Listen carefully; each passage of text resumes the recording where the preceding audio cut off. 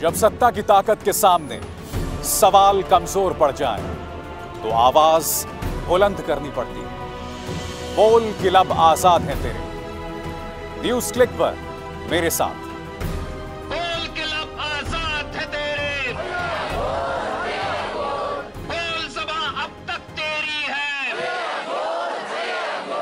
नमस्कार, बोल के लब आज़ाद है तेरे मैं अभिसार शर्मा। और कार्यक्रम शुरू करने से पहले एक बार फिर आप सबसे मेरी अपील कि मेरे इस कार्यक्रम को अपने एक नहीं, दो नहीं, पाँच पाँच कॉन्टैक्ट्स के साथ व्हाट्सएप या एसएमएस के ज़रिए साझा कीजिए, ताकि इस संदेश को ज़्यादा से ज़्यादा लोगों तक पहुँचाया जा सके।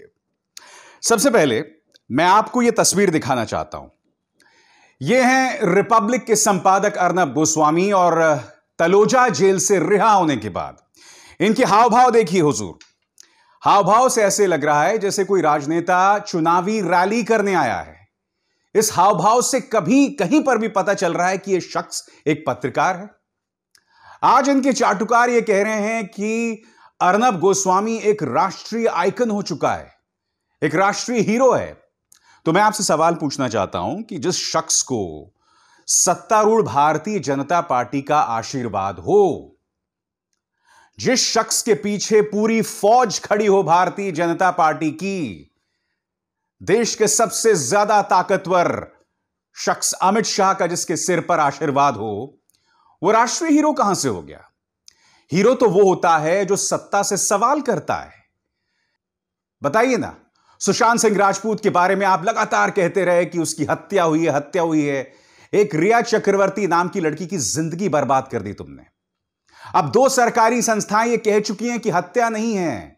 इसमें कोई फाउल प्ले नहीं है। एम्स की रिपोर्ट, जो कि एक सरकारी संस्था है, और सीबीआई की रिपोर्ट। जिसने कह दिया कि बैंक ट्रांजैक्शंस में, सुशांत सिंह राजपूत के बैंक ट्रांजैक्शंस में कोई दिक्कत नहीं है। आज जब यह शख्स इस तरह से हाथ हिलाकर बाहर आ रहा है और वंदे मातरम के नारे लगा रहा है तो इससे ज़्यादा हास्यास्पद कुछ हो नहीं सकता है। मगर यह रिहा क्यों हुआ?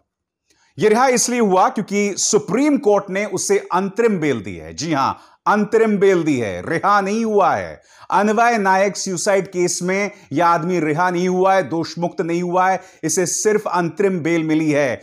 लिहाजा अपनी पीठ मत थपथपाइए अपने आप को हीरो मत बताइए। आप हीरो नहीं हैं, आप अभी भी अक्यूज हैं। आप अभी भी आरोपी हैं।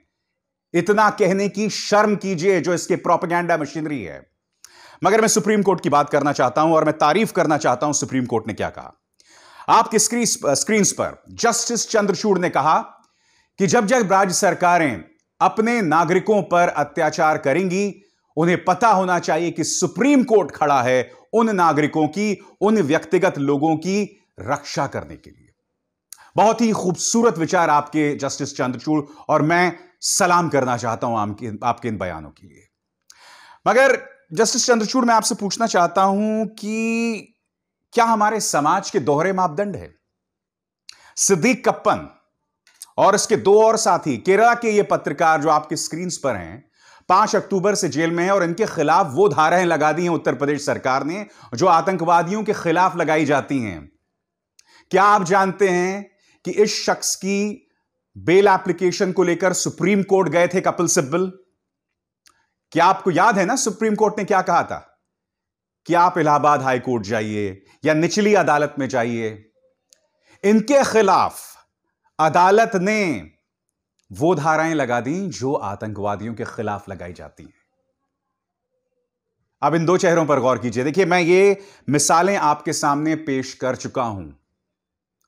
मगर मजबूर हूँ दोबारा उसे पेश करने के लिए, क्योंकि कल जो सुप्रीम कोर्ट ने ऑब्जर्वेशंस की हैं, जो बहुत ही खूबसूरत बातें उन्होंने कही हैं उसकी पृष्ठभूमि में ये बातें कहनी बहुत ज़रूरी है। ये दो चेहरे, वरवर राव और स्टैन स्वामी।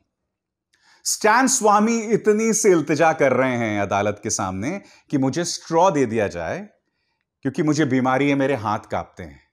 अदालत ने एनआईए से नेशनल इन्वेस्टिगेटिव एजेंसी से कह दिया 20 दिन का समय दिया कि हम इन्हें स्ट्रॉ मुहैया कराएँ ना कराएँ। एक स्ट्रॉ के लिए 20 दिन का वक्त, तेरासी साल का एक कवि, एक समाज सेवी बताइए ना जस्टिस चंद्रचूड़, फ़र्क क्यों है एक सिद्दीक कप्पन और एक अर्नब गोस्वामी के बीच में? या एक स्टैन स्वामी तेरासी साल का एक शख्स जिसके खिलाफ, जिसके, जिसे एल्गार परिषद मामले में बंद कर दिया गया है जेल में, उस पर ऐसा अत्याचार क्यों? वरवर राव, उनकी हालत इतनी बुरी है कि परिवार को यह पता चला कि उन्होंने अपने बिस्तर में पेशाब कर दिया है। उनके साथ जब उनके परिवार की वीडियो कॉन्फ्रेंसिंग हुई तो वो उनका मानसिक संतुलन बिगड़ चुका था। उनके मुद्दे को लेकर जब भी सुप्रीम कोर्ट गए हैं उनके परिवार वाले तो ये कहा गया कि, नहीं साहब, आप बॉम्बे हाई कोर्ट जाइए या आप निचली अदालत जाइए।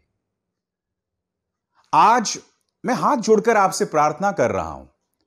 कि क्या इन लोगों का, क्या इन लोगों में और जिस शख्स को रिहा कर दिया गया है, जो अंतरिम बेल पर है, रिहा नहीं, माफ़ कीजिएगा, अंतरिम बेल पर है, क्या उनमें फ़र्क है? हुँ? क्योंकि जहाँ तक मुझे पता है, सुधा भारद्वाज, उमर खालिद, ये तमाम जो चेहरे मैं आपको दिखा रहा हूँ, ये तमाम लोग जो हैं, ये भाजपा विरोधी कहे जाते हैं। और ये शख्स अर्नब गोस्वामी है, भारतीय जनता पार्टी का पिछलग्गू। ये लोग जेल में हैं। इन पर बहुत कड़ी कड़ी धाराएँ लगा दी गई हैं। सुधा भारद्वाज की भी तबीयत लगातार बिगड़ रही है। वो महिला जिसने ज़मीन पर जाके जो अमेरिका में चाहती तो वहाँ रह सकती थी मगर भारत में ज़मीन में जाके जिसने आदिवासियों के लिए काम किया वंचितों के लिए काम किया वो भी जेल में है। उनकी हालत उनकी स्वा, उनका स्वास्थ्य भी जो है वो बद से बदतर होता जा रहा है। मैं आज आपसे सिर्फ़ इतनी प्रार्थना कर रहा हूँ कि फ़र्क क्यों? मैं उम्मीद करता हूँ कि आपने जो ये अहम बयान दिया है, इसके बाद सूरत हाल बदलेंगे। बदलेंगे।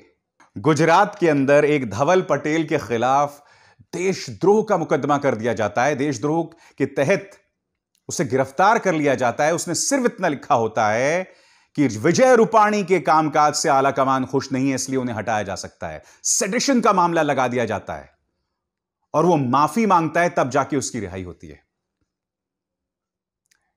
ये हकीकत है, ये फ़र्क है एक धवल पटेल, एक सिद्दीक कप्पन और दूसरी तरफ़ एक अर्नब गोस्वामी के बीच में। ये जो फ़र्क दिखाई दे रहा है ना मिलॉड्स मुझे उस पर आपत्ति है। आपने बहुत खूबसूरत बात कही और आपने और भी कई अच्छी अच्छी बातें कही। आपसे जब पूछा गया रिपब्लिक चैनल के बारे में तो आपने कहा, मैं वो चैनल नहीं देखता। बिल्कुल। क्यों देखेंगे आप? कोई भी, जैसे कहते हैं ना, सभ्य इंसान जिसका मानसिक संतुलन ठीक है, उसे इस तरह के गोदी मीडिया चैनल्स को बिल्कुल नहीं देखना चाहिए। मगर फिर आपने यह भी कहा कि अगर आपको कोई चीज़ पसंद नहीं है तो उसे मत देखिए। बिल्कुल मत देखिए। मगर वही बात तो मैं आपसे कह रहा हूँ कि अगर आपको उमर खालिद की कोई बात नहीं पसंद है तो उसे मत सुनिए। क्या आपके पास प्रमाण है कि उसने जो कहा, उससे दिल्ली के दंगे शुरू हो गए? अलबत्ता इन तीन चेहरों पर गौर कीजिए। कपिल मिश्रा अनुराग ठाकुर, प्रवेश साहिब सिंह, इन्होंने चुनावों के दौरान और इस कपिल मिश्रा ने तो पुलिस की मौजूदगी में कहा था कि अभी तो ट्रंप है, इसलिए हम कुछ नहीं कर रहे हैं। ट्रंप एक बार चला जाएगा तो आप भी हमें नहीं रोक पाएँगे। और उसके तुरंत बाद व्हाट्सएप बनते हैं, इंडियन एक्सप्रेस की इस खबर के मुताबिक व्हाट्सएप ग्रुप्स बनते हैं, जिसमें अफवाहों का आदान प्रदान होता है, झूठ का प्रचार प्रसार होता है, दिल्ली में दंगे हो जाते हैं, जिनमें कम से कम साठ लोग मारे जाते हैं। इस आदमी का नाम चार्जशीट तक में नहीं है। और दूसरी तरफ़ उमर खालिद को बंद कर दिया गया है जेल में, उन धाराओं में जो आतंकवादियों के खिलाफ लगाई जाती हैं। इस खबर के मुताबिक उमर खालिद को उनके परिवार से मिलने की इजाज़त तक नहीं है। स्टेट, सरकारें अपने नागरिकों पर किस तरह का अत्याचार करती हैं, मिलॉर्ड, ये उसकी मिसाल है। आपने जो कहा ना कि अगर राज्य जो है अपने नागरिकों पर अत्याचार करेंगी तो हम उनके लिए खड़े हैं। ये ढेरों मिसालें आपके सामने हैं। सिद्दीक कप्पन, वरवर राव, स्टैन स्वामी, सुधा भारद्वाज। बताइए ना, ये फ़र्क क्यों मिलॉड्स और सिर्फ़ जस्टिस चंद्रचूड़ ने नहीं, जस्ट चीफ जस्टिस बोबडे ने कहा था। और क्या कहा था मैं आपको पढ़ के सुनाना चाहता हूँ। चीफ जस्टिस बोबड़े ने रिपब्लिक टीवी के बारे में यह बयान दिया था 26 अक्टूबर को। देखिए। There has to be responsibility in reporting there are some area one has to tread with caution reporting में ज़िम्मेदारी भरा रवैया होना चाहिए यह जस्टिस बोबडे ने कहा था। मामला उस वक्त का है, जब जस्टिस बोबडे ने तबलीगी जमात वाले मामले में कहा था कि मीडिया के चैनल्स जो हैं, वो विचारों की अभिव्यक्ति का बेजा इस्तेमाल कर रहे हैं, उसका गलत इस्तेमाल कर रहे हैं। यह कहा था उन्होंने इन चैनल्स के बारे में। आगे और सुनिए क्या कहते हैं जस्टिस बोबडे, आपके सामने। Frankly speaking I can't stand it this is not the kind of public discourse we should have justice, chief justice Bobde ने कहा कि मुझे चैनल्स बर्दाश्त नहीं होते हैं।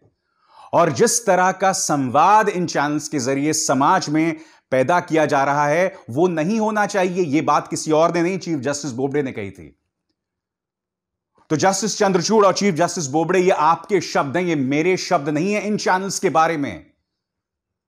और ये चैनल्स फिर, ये एंकर्स फिर, ये संपादक फिर ऑन एयर पहुंचकर प्राइम टाइम में बैठकर उसी तरह का संवाद करेंगे, उसी तरह का जहर घोलेंगे। क्योंकि जिस बीजेपी के चाटुकार को अन्वय नायक मामले में अंतरिम बेल मिल गई है, इसी ने लॉकडाउन के दौरान जब गरीब मजदूर इकट्ठा हुआ था मुंबई में एक स्टेशन के बाहर, कहा था कि ये भाड़े के टट्टू हैं, ये भाड़े के अभिनेता हैं जो इन्हें, जिन्हें यहाँ लाया गया है। पालघर लिंचिंग्स में इसने यह तक कह दिया था कि अब इन लिंचिंग्स के बाद सोनिया गांधी इटली में फ़ोन करके बोलेगी कि देखो मैंने साधु मरवा दिए। बगैर किसी प्रमाण के, और आज तक ये प्रमाण नहीं दे पाए। मगर ये क्या प्रमाण देगा? इसने तो ये कहा था कि दाऊद इब्राहिम जो है, वो है सुशांत सिंह राजपूत की हत्या के पीछे। मगर जब पता चला, जिस संदीप सिंह, आपकी स्क्रीन पर ये संदीप सिंह, जब पता चला कि इस संदीप सिंह के ताल्लुकात जो हैं, वो भारतीय जनता पार्टी के साथ हैं, प्रधानमंत्री नरेंद्र मोदी पर जो फ़िल्म बनी थी ना, पीएम नरेंद्र मोदी, उसका प्रोड्यूसर था ये संदीप सिंह। कई तस्वीरों में ये देवेंद्र फडणवीस के साथ था गृह मंत्री अमित शाह के साथ भी दिखाई देता है। तो फिर उसके बाद दाऊद की थ्योरी गायब हो गई, क्योंकि संदीप सिंह के ताल्लुकात इन्होंने दाऊद इब्राहिम से की थे, फिर बाद में संदीप सिंह पर हमला नहीं कर सकते हैं, क्योंकि उसके रिश्ते तो बीजेपी के साथ हैं। और बात वहाँ नहीं खत्म होती, तुमने कहा पूरा ड्रग सिंडिकेट है, ड्रग कार्टेल है, श्रद्धा कपूर, दीपिका पाडुकोन ये तमाम लोग जो हैं उन्हें पूछताछ के लिए बुलाया गया। उन पर हमला किया गया, पुरजोर हमला किया गया, मगर उस पूरे मामले का नतीजा क्या हुआ? उसका नतीजा यह हुआ कि एक सुशांत सिंह राजपूत बदनाम हो गया और कोई नहीं, क्योंकि सुशांत सिंह राजपूत की का, की मृत्यु का मामला हत्या नहीं थी, ये किसी और ने नहीं, एम्स ने इस बात की तस्दीक कर दी। इन्होंने जो पूरा प्रोपगैंडा चलाया था रिपब्लिक चैनल, जैसे न्यूज़ चैनल्स ने रिपब्लिक टीवी जैसे न्यूज़ चैनल्स ने, वो सब धराशायी हो गया, वो सब खत्म हो गया। फिर ये लोग समानांतर लेवल पर क्या कर रहे थे? महाराष्ट्र सरकार को टारगेट कर रहे थे। सोनिया गांधी को टारगेट कर रहे थे, क्योंकि ये सुपारी उन्हें मिली हुई थी। और ऐसे लोग, कुछ लोगों के मुताबिक नेशनल हीरोज हैं। तो जो लोग इन्हें नेशनल हीरोज समझते हैं ना, उन पर तरस आता है मुझे। क्योंकि ऐसे लोगों ने अपने चैनल्स पर सिवाय झूठ बोलने के, सिवाय नफरत फैलाने के कुछ नहीं किया। और यही सीख आप उन चैनल्स के ज़रिए अपने बच्चों को दे रहे हैं। मैं फिर ये बात दोहरा रहा हूँ, क्योंकि मुद्दा हमारे बच्चों का है। जब आप वो जहर देखते हैं ना, उस जहर का प्रचार प्रसार आपके ड्राइंग रूम्स में होता है। और वही जहर और वही गंदगी आपके बच्चे सीखते हैं। मुझे उम्मीद है कि माननीय सुप्रीम कोर्ट ने जो खूबसूरत और बेहतरीन बातें कही हैं, मुझे उम्मीद है कि जो अन्य नागरिक इस वक्त जेल में हैं, उनके साथ इंसाफ होगा। राज्य सरकारें जो इनके साथ नाइंसाफी करती हैं, अब सुप्रीम कोर्ट का यह बयान, चाहे जस्टिस चंद्रचूड़ ने जो कहा हो, या इससे पहले चीफ जस्टिस बोबडे ने जो कहा है, ये तमाम बयानात जो हैं, ये जो तमाम फैसले हैं, वो नजीर साबित होंगे, वो मिसाल साबित होंगे उन लोगों के लिए जिनके पीछे भारतीय जनता पार्टी का हाथ नहीं है, जिनके मामले को आगे पहुँचाने के लिए महँगे महँगे वकील नहीं हैं, मैं उम्मीद करता हूँ उनके साथ इंसाफ होगा। मगर उम्मीदें हैं, उम्मीदों का क्या? अभिसार शर्मा को दीजिए इजाज़त। नमस्कार।